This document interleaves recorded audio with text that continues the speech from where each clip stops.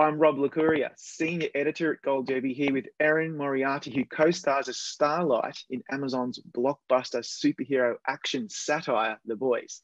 Erin, a lot of Starlight's arc over season two dealt with her quest to expose the truth about Vought and Compound V. Um, were you happy with the way her storyline panned out over the season? Mm.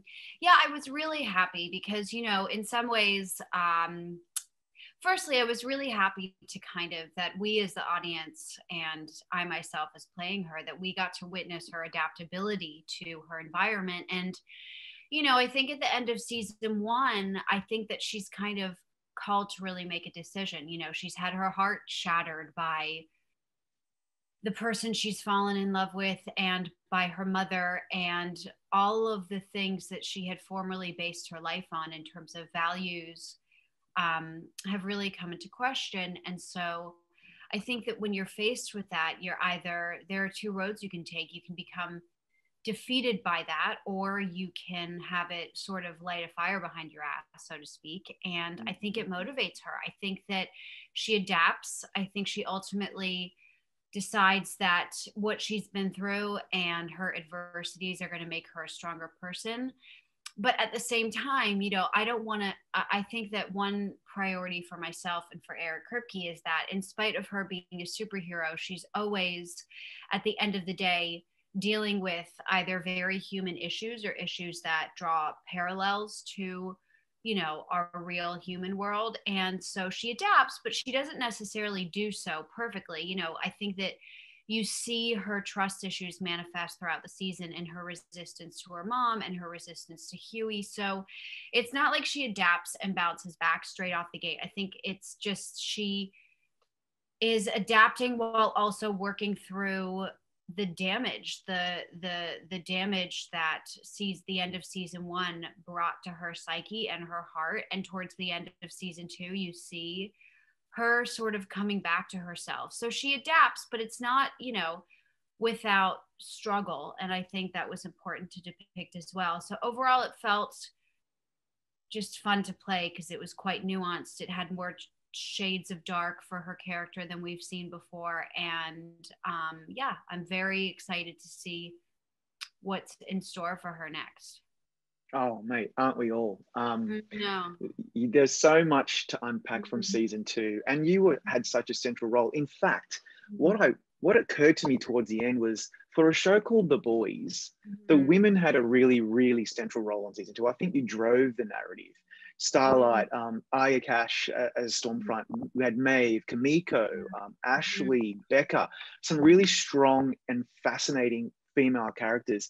Did you really appreciate that as you were shooting season two? That how important the women on this show are. Yeah, of course. For me, it was kind of a non negotiable going into this job that, you know, one of the reasons why I was attracted to it in the first place is that you meet Starlight and you kind of want to put her in a box and you want to pigeonhole her and you assume she's going to be that naive ingenue and she's not. And so immediately the way that our showrunner, Eric Kripke, um, approached the female centric storylines and also the way he approached me after I booked the job and just wanting female empowerment to be a priority for him made me feel really comfortable with getting involved in the superhero world, which I think only recently has started to create female centric storylines at all. Um, and so season two showed not just my character, but all of the female characters really step up. And you you even see someone like Homelander kind of feel threatened and dethroned by Stormfront. Yeah. You know, you kind of have Homelander, who's the, the the the villain of the series, be dethroned by a female. So I think it's cool to see strength manifest positively and negatively on the show. Um, you see someone like Aya Cash playing store, play Stormfront, and she's so badass. And then, you know, you see Karen Fukuhara who plays Kimiko and shows that she's got heart and strength. And yeah, I mean, especially that scene in the finale, you know, which is a spoiler alert, but you just see that, you know, throughout the season, there's this, there's this um, phrase going around girls get it done and it's and it's coined Yeah. by Vought and so there's an irony to it because Vought just objectifies their women but then you see the you know then you see a true um, manifestation of that statement in the final episode. I think it's great. I think it's super important and i think that we really need to be mindful of it moving forward. Um, if you've got a show called the boys and the primary perspectives are m- male perspectives which they are in the comic book and in some of our show i think that our showrunner needs to become I think we all need to become increasingly conscious of making sure that at the end of the day, the perspectives on our show are not just male. And I think we did that this season. And I think we have the opportunity to even expand the female perspective on our show. So I loved being a part of that in season two. And I hope that it just gets more expansive. Yeah. I love it how it starts off so ironically with the girls get it done. Mm-hmm. And then mm-hmm. by the end, we've got Peaches boys want to be her playing on the soundtrack yeah. as the women are beating Stormfront up. Uh, it was a great throughput so for the season, don't you think? yeah, I loved it. And that song, I didn't know they were going to use that song. And so when I saw the finale for the first time, which was a few months before it came out, and I, this, as soon as that song kicked in, when we started to beat up Stormfront, it just was so, it's the only scene that I watched more than once because I don't love to watch myself. And so I'll do it once out of like, I want to see the work that we've all done, especially because now some of my closest friends are in the cast. I want to see the work yeah. they've done. But beyond that, I don't want to watch it very much. But that was the one scene I returned to just because it was so cathartic and satisfying. And I just, I loved it. It was really yeah. fun. I love it yeah. too. I love yeah. how the boys um, depicts a world in which the superheroes are revered like gods, um, but and they're but they're they're, they're not good people, uh, or so many mm-hmm. of them aren't. It says a lot about celebrity and commodity and the cult of personality, materialism, fame, greed. But how did that all resonate with you when you took on the role? Mm-hmm. Yeah, I mean, look, you can't you can't live in in in Los Angeles or work in this industry without being exposed to you know, some of the fuel behind the stigma around this industry. You just can't. Um, there's a reason why there are stereotypes. There's a reason why there's a stigma.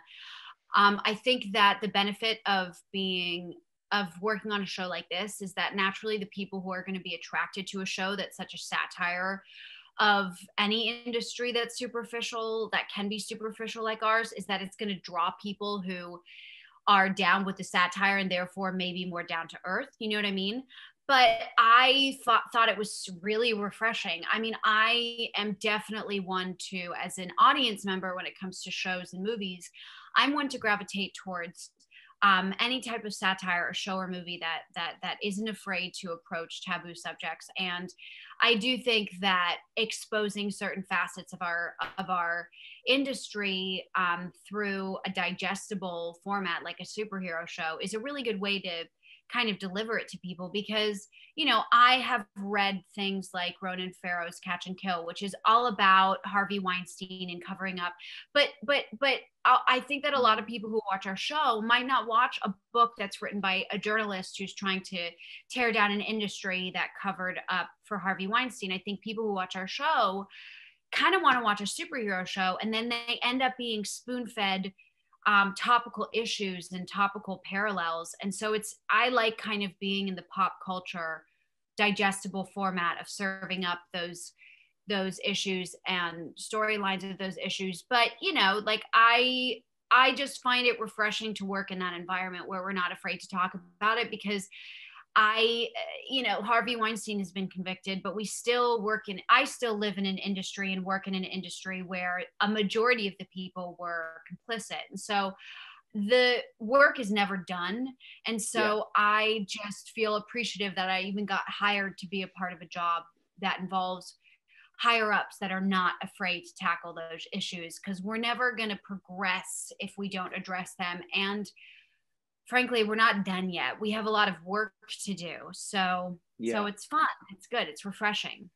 Yeah it is. It i mean because we all frankly do feed off celebrity culture in one way or another through our work and through mm-hmm. the, our social medias or whatever. Mm-hmm. but this show has some great examples of just skewering it that grotesqueness of like the junkets where you're being asked stupid questions or the celebrity red carpets. Did you really appreciate you and the cast appreciate having a real fun crack at mm-hmm. grotesque celebrity culture? Yeah, I mean, it's really it's really satisfying. It, it's also a kind of a litmus test to the actors that you work with if they're able to really kind of properly make fun of it. Because, like for example, I did that whole press junket. I did all of those scenes with Aya Cash, who's the most down to earth, you know, lives in New York City, allergic to that kind of um, vapid celebrity culture. And so the entire time, I think that it was just frankly very satisfying for us to acknowledge the beast that is the industry we work in. And for once instead of having to put up with it being able to make fun of it it was just really refreshing. Do you know what i mean? I'm so yeah. Because it's it comes with the territory of our work. And so we just feed the beast. We you have to you know what i mean and so to have this moment where we're able to acknowledge how vapid and kind of insane it all is, yeah. is just very, is just a moment where we're like, okay, we're not just crazy. There are people who get that this can be batshit at times, that this can be utterly vapid and superficial. And it can also be the opposite. It can be amazing, but it's like, you know, you've got to poke fun at those things occasionally. Um, and I just, I don't know in the whole world of the entertainment industry, there are so many moments where I'm like, I just wish we wouldn't take things so seriously. So yeah. I just personally felt very, um, it was very satisfying. And for myself and my fellow cast members, which says a lot about them and the type of cast we have and the type of boss we have, that everyone would be so game and gung ho about addressing that whole side of our industry. Yeah. Here's another really, this is a more difficult topic to mm-hmm. kind of to, to get right because when you talk about violence, we always want to talk about nuance and sensitivity and mm-hmm. restraint, mm-hmm. but this show is not that. This show is um, skewering, satire, mm-hmm. satirizing, making fun of, and the violence on it is so hyper realistic and ridiculous. There's a lot of mm-hmm. exploding heads. What are your mm-hmm. thoughts on what this show says about violence on TV? Mm, interesting. So I think, um, you know, I kind of think that as far as our show goes and as far as the violence goes, and and I am the type of person who has been going to see Tarantino movies since I was too young. You know what I mean? And so yeah. I I know that there are certain people who are going to wince and they're going to grimace at the amount of blood that's in our show. I do think that when when you know, at times we do have to acknowledge that at the end of the show, that at the end of the day, the show is very much a dark comedy and it's kind of our brand and we're going to really go there. Like if superheroes yeah. did really exist, this is the amount of blood that would be shed. You know what I mean? Like yeah. if superheroes were just free roaming the world and people could explode heads and people could do all of the crazy stuff that we that we hypothesized when we do superhero movies, I don't think the world would be as neat as it is in some of the superhero worlds that we show. And so, A, I kind of do think there's actually, ironically, this realistic side to it, which is like, no, we're doing a superhero show and we're doing a superhero show that begs the question if superheroes existed, would they really be good? And the answer is power corrupts and absolute power corrupts absolutely. And so when you have people going around with who are just high on power and ego and they have the ability to just demolish anyone in their way, there's going to be a lot of blood. And I think that we just kind of made the commitment to not half ass it. And I think that that combined with just, you know, uh, uh, uh, like going for that sort of Tarantino level of bloodshed is just kind of that sort of saturated world that we wanted to make. Um, and yeah. so I think that there was just like a mutual commitment to really, when it comes to the humor of it, the darkness of it, the satire of it, and even the blood of it, of just not halfing, half-assing it, and really honoring. Like if there were people just flying around the world who could laser people, there'd be way more bloodshed, you know? Yeah. It'd be a nightmare. yeah. Um, yeah. You know, I don't I think the boys, there's no show that does power or, or, mm-hmm. talks about power better than the boys because because it, it's true about the corruption of power. And what I was thinking about, and you probably get this a lot, what kind of feedback do you get about how there's been a lot of parallels with the last few years in American politics with what mm-hmm. the boys was trying to or attempting yeah. to kind of portray. What do you think? Ah.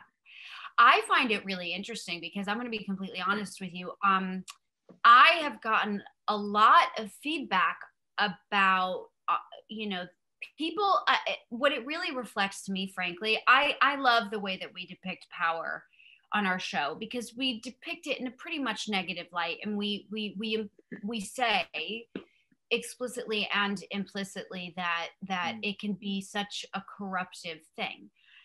But what's what i found interesting is that i thought we would make this show and it would be really obvious. It would be really obvious what we were criticizing what we are criticizing what we are um you know condemning and not condemning.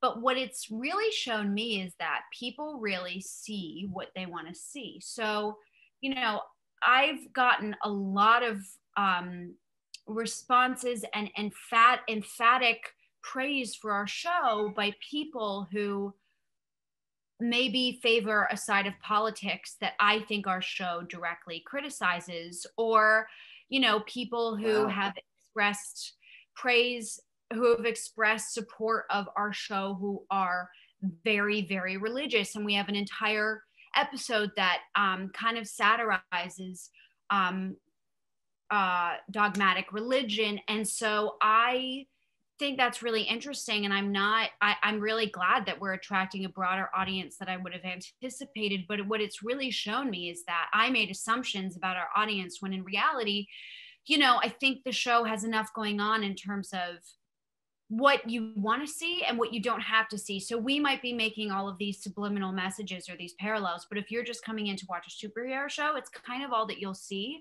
I guess. And people wow. really just take what they want to see. So that's been really fascinating to me because in my mind we hit people over the head in terms of where we stand politically, you know, in terms of religion and you'd think so, but actually I've been very surprised by the outpouring of support and love that we've gotten from people who are on a side of the political spectrum that I wouldn't have expected. And so, and I'm not, I'm totally down with that because I don't ever want to be so tribalist that I don't, that I yeah. reject the support from those people. But really, my takeaway has been that you know, A, I'm very pleased with the overwhelming support and praise we've gotten. And B, people really take what they want to take from a show and see what they want to see, which has been yeah. interesting.